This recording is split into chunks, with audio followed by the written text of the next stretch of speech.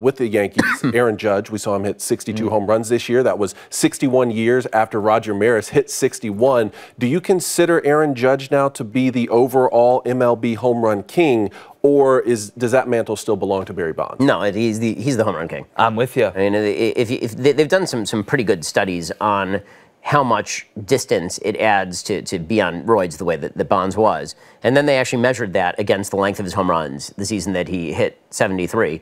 And what they found is that if you take away the home runs that were hit, you know, kind of in that in that gap, right? You know, if if, if hitting a, a home run on steroids means that you're adding 15 feet to the ball, how many were hit just 15 feet beyond the wall, right? Uh, and what they found is that he actually hit about 53 home runs that year. So I mean, it's still a huge year, but but not 73 home runs. It's the same thing with McGwire, right? I- i- If if you were if you were on if you're on the juice and and you were hitting the ball barely over the fence, it's not over the fence if you're not hitting it without the steroids. And Judge is he kind of reminds me of, of Maris in a sense, right? I mean, Maris won an MVP before he he actually broke the home run record. He was a very good player for for his entire career, but he wasn't like the best player Yeah. in the majors. They didn't even And- want him to break the record. They wanted Mickey Mantle to break the record. Oh, Right, exactly, and and you you see that a little bit with Judge. I, you know, it's an amazing stat. I was I was looking this up because Judge has gotten so much hype the past few years. If you look at his career WAR and then you look at Mike Trout's career WAR, they're the exact same age, right? Trout and Judge. I believe Judge is 31, and Trout I think is also 31 or mm-hmm. 32, and.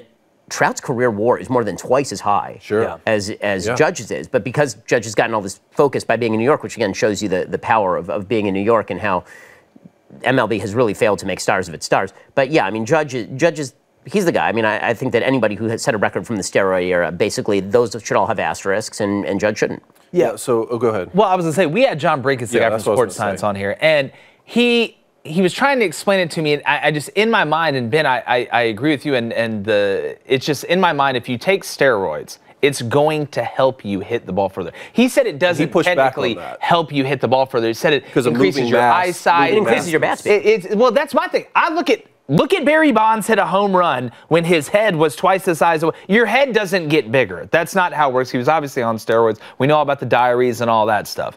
But when you look at Barry Bonds and the home runs that he hit, and it's not just the towering shots that win in Covey Cove. It's the ones that you miss that sneak over the fence. Or in Aaron Judge's case, you're playing in a little league field in right field, let's be honest. And when you can hit the uh, ball the other way, which is a credit to him, letting the ball travel, letting it get deep, uh, th- that's great. But when it comes to steroids, Blaine, there's no way in hell, I don't care if John Brenkus, Bill Nye the Science Guy, or, or Carl Sagan walks in Yeah. here, that steroids don't help you hit the ball further. I mean, look, I'm not going to sit here, and the only scientist I believe in is John Brenkus. But uh, the one other person who I believe in more is uh, that that would be you, Ben.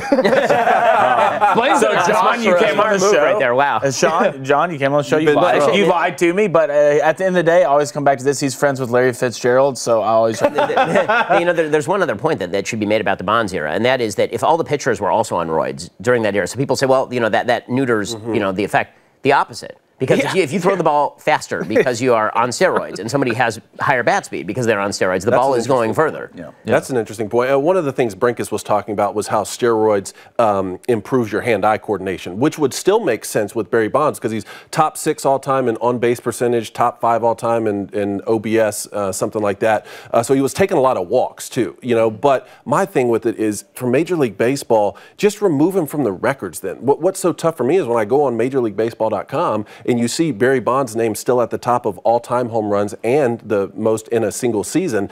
Uh, you can put an asterisk or you can say whatever you want, but that's still the name at the top of the list. Take that off there, and it would be easier for people to say. You Or just what, asterisk it. I mean, by the way, they asterisk Maris. I know, first because, but that was fewer games or more games. Right, no, no, and- and the point that I'm making is if you're going to asterisk people based on different standards, they should asterisk everything by bonds. I mean, this is Sure. this is, this is fairly obvious. I mean, and by the way, the case to asterisk Maris wasn't a bad case. I mean, No. uh, he, he played more games. You, you hit more home runs in more more games than. Ruth, and that's that's more ABs. I mean, And if you look at the 154, he didn't hit 60 in 154, so there was a case to be made. Right. It- Yeah. Exactly. So, you know, again, Judge versus versus Bonds. It not, take, you're not taking anything away from Bonds being one of the great all-time players. Sure. But he's because he's one of the great all-time players before he actually was on the roids. Mm-hmm. Same thing with Clemens, right? So, some of these guys were great all-time players before they were on the. One of the great ironies of the way that it's worked with the Hall of Fame is that you have a bunch of players who probably were on the roids and only made the Hall of Fame because they were on the roids, like David Ortiz, and and, and mean, who was who was hitting 20 home runs when he was with the Minnesota Twins, and suddenly he's with the Red Sox and he's hitting 45 home runs a year. Um, you know Brady Anderson in it for for ten years. And listen, I like David Ortiz. That's a I- great I- name I. I, I love you know I, I like David Ortiz. I like the Red Sox. I went to, to law school over there. I watched him play. It was fun. But you know the the the reality is that that there was no reason why we should treat what is obviously an unfair record as though it's a, it's a fair record. And, and you know, all baseball fans know this. Like, off the top of your head, how many home runs did Hank Aaron hit? 755, right? So, like, eh, how many, eh, off the top of your head, how many home runs did, did Barry Bonds have? Correct. I, I, whew, 780. I think it was 20 more. I'm not tripping. you have no idea, right? you No, have no I, idea I'll because say- you I know the 755. I, I don't know the 786. berries. Right, no, you don't know. Right? Yeah. And the, end, the reason you don't know is because you don't care. And the reason you don't care is because it, 762, sorry. That's. And the, the, right, and the reason you don't care is because it doesn't matter. Yeah, right. that's Because because every baseball fan in their heart of heart knows that, that Barry Bonds is not the all-time home runs leader. I, I agree with that 100%. And, and all the hell we'll catch for it. Who cares? Uh, it's baseball. You got to catch everything. When it comes down to baseball, though, guys, let's not worry. It's getting fixed. They're making the bases bigger. Okay, so everything will be fixed. I don't The- understand what what was that No about? one does. It's so Safety. Is like So the rule is houses safety. That, that that's the, the main thing is safety. Let's make them bouncy houses. Yeah, that's exactly right. Or it should be like a little bubble that you're in that you just carry and run around the base. But no, making the bases bigger. I always said that I think it was probably Rob Manfred's son who he just gave a job in the board meeting and they never used any of his ideas. And he's just really an idiot. But this one idea, he's like, they're like, all right, Ned, what do you got? He's like, well, uh, what if we uh, made the bases bigger? You know, just like he's just the one kid with a bad idea. Hey, everybody, appreciate you guys checking us out. If it's your first time, welcome home, baby. Go ahead and hit that like, subscribe button, turn on all those notifications by hitting that bell right there. Really appreciate y'all. And remember, without you guys, there is no us. Let's keep the woke out of sports and keep it in between the sidelines.